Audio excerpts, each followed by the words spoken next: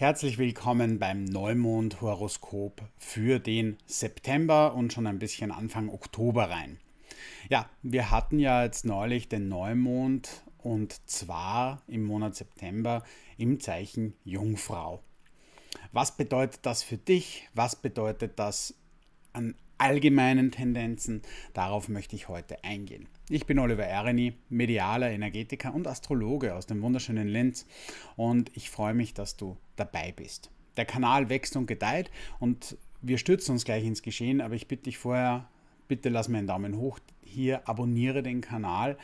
Wir knacken demnächst die 1000 Abonnenten und das finde ich für so einen Klitschen-Kanal wie meine schon sehr beachtlich und freue mich da auch recht drüber.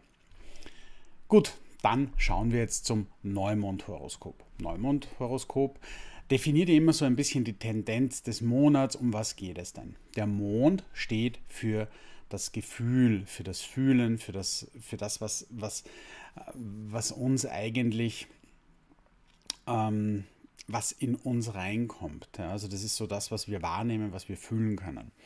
Und der, das Zeichen Jungfrau ist ja ein Erdzeichen. Es ist ein sehr nüchternes, sehr rationelles Zeichen. Es geht darum, um, um Aufräumen, Ausmisten, Buchhalten, äh, ein bisschen vorsorgen, sparsamer sein.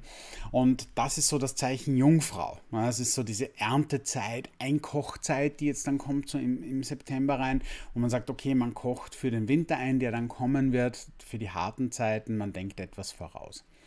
Und deshalb ist der, ist das Jung, ist der Jungfrauenmond jetzt nicht der überbordendste Mond äh, überhaupt und der Mond fühlt sich auch nicht unbedingt so wohl, äh, weil es heißt, sei ein bisschen reeller, sei geerdeter, träume etwas weniger dahin. Das wäre so die Aufgabe. Vielleicht hast du ja die Lust, mal einen Hausputz zu machen oder auszumisten oder auch mal Marmelade einzukochen. Das wären alles so Tendenzen für den Jungfrauenmond. Ja, wir sehen hier unten in der Jungfrau, das ist so dieser, dieses M mit dem, mit dem Kreiserle dran, ähm, sehen wir den Mond und die Sonne stehen, beim Neumond natürlich in Konjunktion. Und dann schauen wir uns mal an, was wir da haben. Spannend ist vor allem der Uranus in Stier. Ähm, und zwar ist der Uranus im Stier, der beschäftigt uns ja ist ja ein, ein, ein ziemlicher Langsamläufer der Uranus und ich bin schon öfter darauf eingegangen. Das ist eben so dieser, dieser, dieser Wandel, das Neue in den alten Strukturen, in den Werten, in den stierischen Werten wie Geld, wie, wie gesellschaftlichen Normen, in den eigenen Grenzen. Das ist so dieses neue, dieses überraschende Moment. Und äh, der wirbelt ja jetzt so unsere Erdschwere gescheit durch und da werden viele natürlich auch mit Ängsten konfrontiert.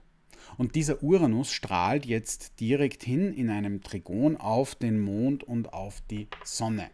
Uranus will keinen Stillstand, also Uranus möchte sich immer bewegen und ist so die Aufforderung, auch eine neue materielle Vision zu erlangen. Wo möchtest du hin? Was ist für dich wichtig?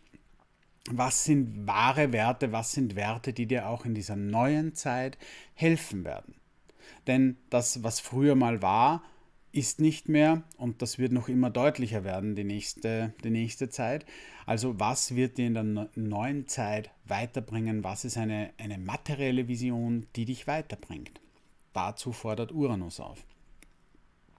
Auf einer persönlichen Ebene kann es sein, dass, dass du im, äh, dass du wirklich so mit, mit etwas schwereren Stimmungen konfrontiert wirst, mit, mit Stimmungsschwankungen konfrontiert wirst, dass du auch ein bisschen nervös wirst, ja, dass da, dass da manchmal so himmelhoch jauchzend zu Tode betrübt, also dass das sehr stark auf und ab geht. Das wäre da natürlich eine Möglichkeit, wenn der Uranus, so wie es hier ist, eben auch auf Mond und auf Sonne, weil die ja zusammenstehen, das gleichzeitig bestrahlt. Ja, ein weiterer wesentlicher wichtiger Aspekt, der allerdings noch nicht ganz so dicke kommt, äh, ist und da gehe ich ja immer davon aus, ist der Pluto in Steinbock. Und auch den erwähne ich immer wieder. Ich, ich nenne den ja die Schändung des Rechtssystems oder die Transformation des Rechtssystems. Und dieser Pluto wird jetzt befeuert im im Neumondhoroskop über den Mars. Und Mars und Pluto, das ist zwar ein Trigon, also das ist jetzt noch nicht so die dramatischste Konstellation, aber man merkt, es brodelt. Also Pluto-Mars ist so, ist so Druck, ist Gewalt, ist, ist eine, Gewichte, äh, eine gewisse Machtausübung auch, ist ein gewisses Kräfteringen, das da im Hintergrund sich abspielt. Und wenn wir uns anschauen, der Mars steht auch in der, in der Jungfrau drinnen und Pluto im Steinbock, dann sind das alles sehr, sehr materielle Tendenzen. Also Steinbock ist so das Recht, ist die, ist die Arbeit, ist so dieses, ist äh, das Arbeitsame und ähm, die Jungfrau ist natürlich auch dieses Unterordnen. Und wenn da der Mars steht, das ist so ein alter Aufbäumer, der sagt, ich bin vorne, dann ist man vielleicht nicht mehr ganz so im Unterordnen drinnen. Aber durch das, dass es ein Trigon ist, ist diese Konstellation noch nicht so stark aufgeladen. Es ist nicht nur ähm, der, der, der, Pluto und Mars zusammen, wir haben auch noch ähm, eine Opposition und zwar von Neptun in Fische und in Mars. Neptun ist ja so der Friedensstifter, der sagt, alles ist gut, äh, sie ist mal locker, der ein bisschen so Heilung bringen möchte, aber auch ein bisschen die Verschleierung bringen möchte. Und das wäre auch noch einmal ein Hinweis darauf, dass man sagt, okay, diese Kraft, diese explosive Dynamik, die wir da über Pluto und Mars bekommen jetzt im September rein, wird noch nicht ganz so dicke gelebt. Also die ist noch abgebremst, abgedämpft, abgefedert, kann aber durchaus ähm, wie soll man denn sagen, ein Schuss vor dem Bug sein. Also dass man sagt, Achtung, so vielleicht nicht weitermachen, Achtung, da könnte mal ähm, etwas ähm, Größeres kommen. Ne? Also da ein bisschen aufpassen ja, dabei. Auch vielleicht aufpassen vor so spontanen Entscheidungen, so spontanen Investitionen oder irgendwo, wo man sagt, emotional, ich, ich, ich möchte da jetzt etwas machen und man glaubt schnell, man ist wo schlau, aber da würde ich auch ein bisschen aufpassen. Das ist so die Täuschung drauf. Die letzte größere Konstellation in diesem Neumondhoroskop sind Jupiter und Venus. Die Venus steht in der Waage und der Jupiter im Wassermann. Und Venus im Waage steht ja da eigentlich in ihrem Heimzeichen. Also die Venus fühlt sich ja da wohl, da geht es um Genuss, da geht es um Kultur, da geht es um Kunst. Und da ist ein Trigon zu Jupiter im Wassermann.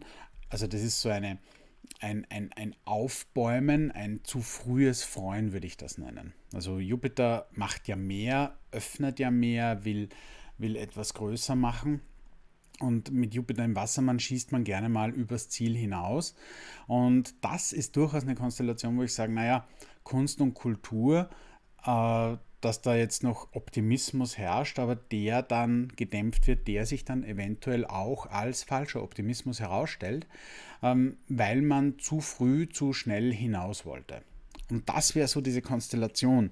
Aber mit der Venus, äh, Venus in Waage geht es ja generell darum, auch diesen, diesen Kunstgenuss, auch das ein bisschen mehr zu schätzen und zu achten. Also vielleicht auch für, die, für dich ähm, dass etwas mit Kunst und Kultur funktioniert, brauchen sie dich halt auch, dass du da Tickets kaufst und ins Theater gehst. Ja? Und nicht nur eben kostenlose Angebote in Anspruch nimmst. Also das ist vielleicht auch noch eine, ein, ein, ein kleiner Aufruf auch äh, für die Kulturschaffenden. Die brauchen auch wirklich Ticketverkäufe, weil es hilft nichts, wenn jeder daheim sitzt nur und sich das daheim dann gibt. Ja, das wäre es im Prinzip. Ähm, von, vom Neumond-Horoskop im September. Es wird also aufgeladener, es brodelt was im Untergrund, es, es bleibt spannend, aber grundsätzlich geht es für dich darum, bleib realistisch. Realistisch sein heißt einfach, dort, dort sich wahrzunehmen, wo man steht, wo du jetzt stehst. Fang immer dort an. Also träume nicht von irgendetwas, was vielleicht in der Zukunft kommt oder ängstige auch nicht, ängstige dich auch nicht vor etwas, das in der Zukunft kommt, sondern bleibe geerdet, bleibe realistisch und ähm, darauf weist meines Erachtens nach das Neumond-Horoskop hin. Ja, ich hoffe, das Video hat dir Impulse geliefert. Ich bin Oliver Erini, medialer Energetiker und Astrologe aus dem wunderschönen Linz und ich wünsche dir eine gute Zeit und wir sehen uns hoffentlich bald wieder. Alles Liebe.